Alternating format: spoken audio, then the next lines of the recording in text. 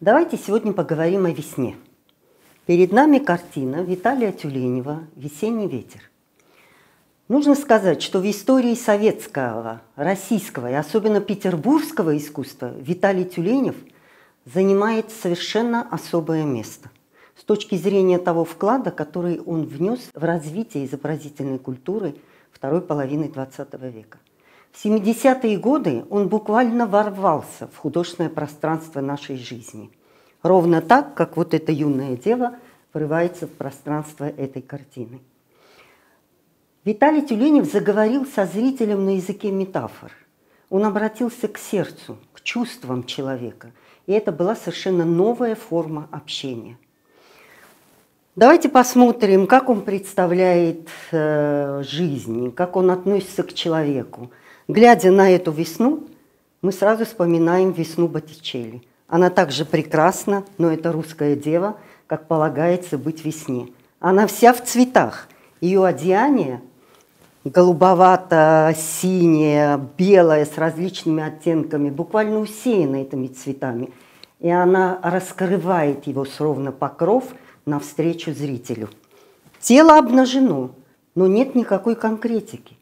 Это словно мраморная статуя. Она бесплотна, пронизана этим светом, этой небесной энергией, которую вы видите вокруг. Она словно явлена нам из этой небесного, из этого небесного света, из этой небесной энергии, где все пришло в движение в связи с наступлением весны. Видите, вот эти клубы, облаков, самой энергии неба, которую мы ощущаем, птицы вокруг. И даже в уголочке, вот если вы видите, вроде бы это очертание птички, а в то же время ее свет дает нам понимание того, что вполне возможно, что это и ангел. Конечно, это ощущение радости и надежды, которую хотел дать Тюленев зрителю, но в этом нет никакой перенасыщенности, вот э, переслащенности эмоциональной. У него гармония, которую он нам представляет, всегда балансирует на грани парадоксов. Ведь является парадоксом сочетание этих двух миров – мира гор, горнего и мира дольнего. Обратите внимание, одной ногой она вроде бы в мире вот этом, небесном.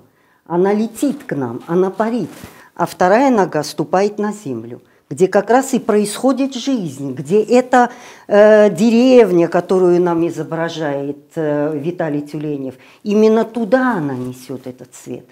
Конечно, она знаменует собой в представлении Виталия, э, Виталия Тюленева любовь. И сегодняшнюю короткую нашу встречу мне хотелось бы завершить словами э, Альберта Эйнштейна о любви, о том, что любовь – это великая сила – которая дает объяснение всему и дает смысл нашей жизни. Любовь – это энергия, которая исцеляет мир.